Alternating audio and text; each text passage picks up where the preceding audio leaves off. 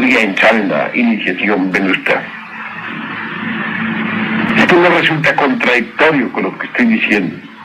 Lo que pasa es que muchas damas llegan a la quinta iniciación del fuego estando ya muy viejas, cuando ya tienen que desencarnar. Entonces la gran ley les da un vehículo masculino para que continúen su trabajo.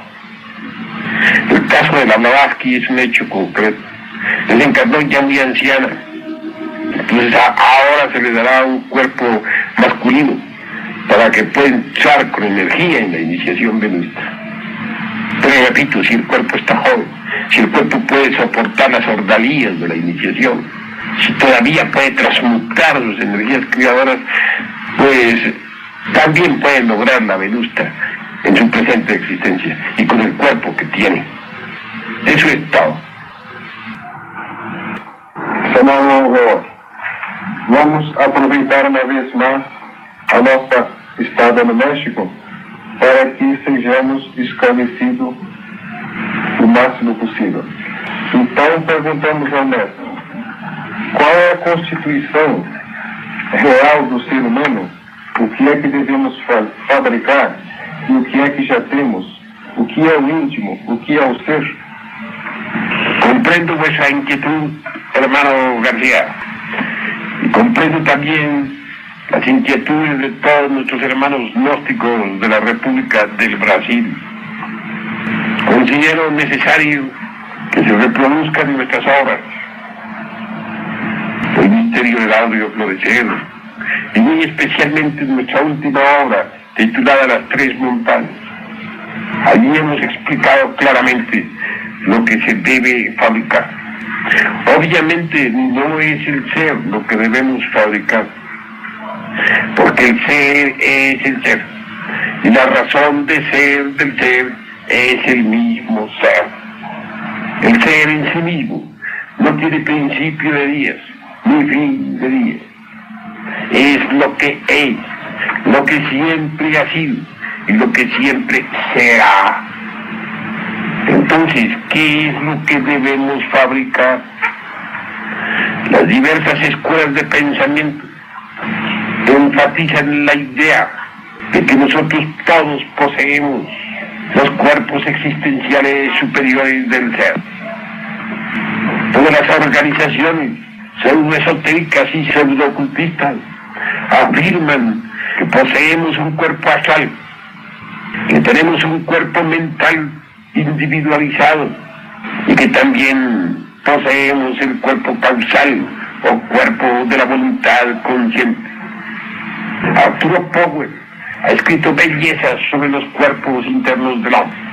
Mr. Límite ha estudiado en detalle el astral, el mental, el causal, etcétera, etcétera, etcétera. Elena Petronila Blavatsky cita tales vehículos en sus diversas obras. Rudolf Steiner, Max Heindel, Krumm Heller, etcétera, también mencionan tales vehículos suprasensibles. Ha llegado la hora de que nosotros enjuiciemos tales afirmaciones, de que con el escalpelo de la crítica constructiva desnudemos a esos valores para ver qué es lo que tienen de verdad. Yo conceptúo, yo afirmo claramente de que los citados autores, algunos de ellos investigadores competentes, no han dado la enseñanza completa en este sentido. Este límite, por ejemplo, veía el cuerpo astral y lo afirmaba, veía el mental y lo afirmaba, el causal y lo afirmaba. Pero es que Mr. Límite veía los cuerpos astral, mental y causal de aquellas personas que sí los poseen. Jamás se detuvo a analizar juiciosamente si todas las personas poseen tales cuerpos. ¿En qué obra? Me pregunto. Y pregunto a ustedes. ¿Alguna vez Mr. Límite un poco ese problema cuando hizo una discriminación o una diferenciación completa entre los que tienen y los que no tienen tales vehículos. Vio algunos que poseen los vehículos y pensó que todos los tenían. He ahí el error. Ese es el mismo error de todos los investigadores eh, ocultistas y esoteristas. O mejor dijéramos, pseudo-ocultistas y pseudo-esoteristas. Que me dispensen, señor Límite, pero estoy afirmando lo que es verdad.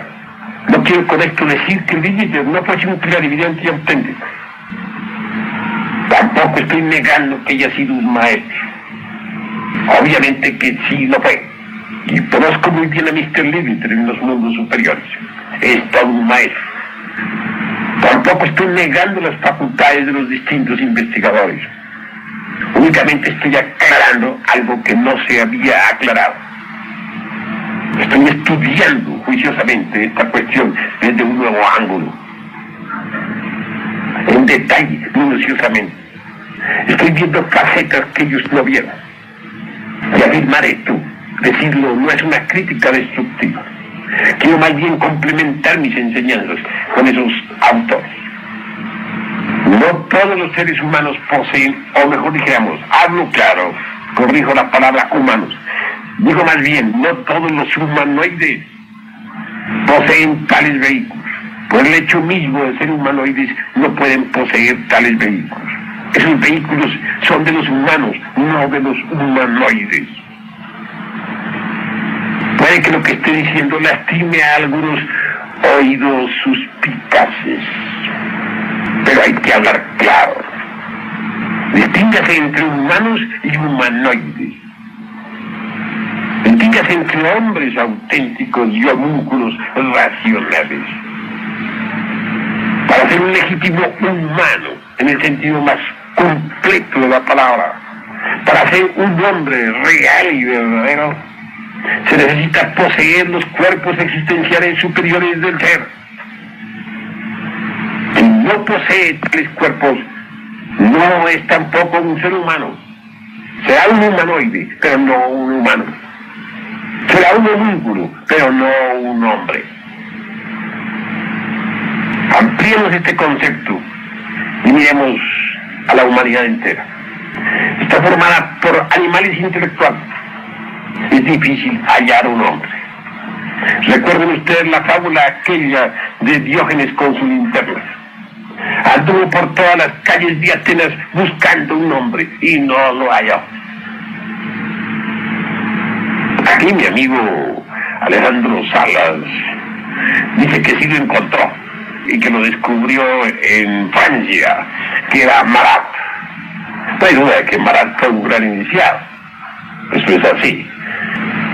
Todo ese grupo de la Revolución Francesa es bastante interesante. Pero realmente es difícil hallar un hombre. Nadie nace con un cuerpo astral, excepto los hombres. Cuerpo astral hay que fabricarlo en la forja de los cíclopes. Es bueno saber que en el semen, en el enseminis, en el esperma sagrado, existe el hidrógeno sexual C12. Aprender a transmutar el enseminis en energía creadora es indispensable. Saber transmutar, dijéramos, ese hidrógeno sexual C12 es urgente. Cuando nosotros transmutamos la entidad del semen. Fabricamos entonces el cuerpo astral. El hidrógeno sexual se viene a empapar primero las células orgánicas y luego toma forma concreta y definitiva en el cuerpo astral. Una vez que nosotros hemos fabricado tan precioso vehículo, se hace indispensable poseer una mente individual. El humanoide intelectual no tiene mente individual. Tiene mente y eso es diferente. Al hablar así, quiero que reflexionéis. Muchos han considerado al ego como algo divino, subliminal, inefable. Se habla del yo subliminal de Viaras. Se coloca al ego en todos los altares. Se le diviniza, se le deidifica pues en verdad, hermanos, os digo que el ego es una suma de agregados psíquicos un conjunto de yoes diablos que personifican nuestros deseos, nuestras emociones, nuestras pasiones, etcétera, etcétera, etcétera. Cada uno de estos yoes, cada uno de estos agregados psíquicos posee su propia mente particular. Entonces, obviamente, nosotros no tenemos una mente individual, sino un conjunto de mentes. Y eso es diferente. Cuando el yo de la ira predomina en determinado momento, el individuo piensa en forma iracunda. Todo lo que concibe cree que es lo último y la última palabra. Cuando codicia traza planes y proyectos, etcétera, etcétera, y se cree ser el único. Cuando está lleno de celos, dice yo tengo celos y cree, se siente que es la última palabra. Cada yo que se manifiesta en un momento dado en nuestro organismo cree ser el último, el postero, el definitivo. La vuelta. Cada uno de esos tiene su mente. Y por tal motivo nosotros todos estamos llenos de contradicciones. Tan pronto afirmamos una cosa como la negamos. Tan pronto juramos lealtad ante la de la gnosis como violamos esa lealtad. Tan pronto juramos amor a otra persona cuando nos retiramos. Conclusión. ¿Dónde está la individualidad de la mente? Cada yo tiene su mente, sus ideas propias, su criterio propio. Y todos estos yoes dentro del cuerpo luchan incesantemente unos contra otros y todos contra todos. Todos estos yoes quieren cada uno controlar la máquina orgánica. Entonces, ¿dónde está la individualidad de la mente? No invente, sino mentes. Necesitamos fabricar un cuerpo mental y eso es posible mediante la transmutación del esperma sagrado en energía. Cuando nosotros transmutamos el hidrógeno sexual C12, entonces conseguimos fabricar ese cuerpo mental. Así, solo así venimos a tener mente individual. Mucho más tarde se hace necesario poseer un cuerpo causal, un cuerpo de la voluntad consciente. Todos los seres humanoides no hacemos otra cosa sino sufrir. Realmente las gentes son víctimas de la circunstancia. Nadie sabe determinar circunstancias, son víctimas de ellas. Cuando uno desarrolla el cuerpo de la voluntad consciente, puede determinar las circunstancias, puede originar nuevo orden de cosas. El dueño responsable de sus actos. Antes, no, antes es un irresponsable. Así pues, mis caros hermanos, una vez que uno ha fabricado los cuerpos existenciales del ser, entonces sí puede darse el lujo de encarnar a ese principio sutil llamado alma humana. Y solo así venimos realmente a convertirnos en hombres con alma, en individuos verdaderos, en individuos legítimos, en hombres auténticos, en humanos reales. Observen ustedes el panorama de todas las cosas. Lo único que vemos en el mundo son criaturas irresponsables, animales intelectuales, humanoides, racionales. Raro es encontrar un hombre real, un hombre auténtico. Los mundos internos podemos darnos cuenta quiénes poseen los cuerpos existenciales superiores del ser y quiénes no los poseen. Así pues, repito, no es ser lo que necesitamos fabricar. El ser es el ser y él es eterno. Ahí no hay necesidad de fabricarlo. Lo que necesitamos es crear los cuerpos existenciales superiores para el ser. Y eso es diferente. ¿Entendido?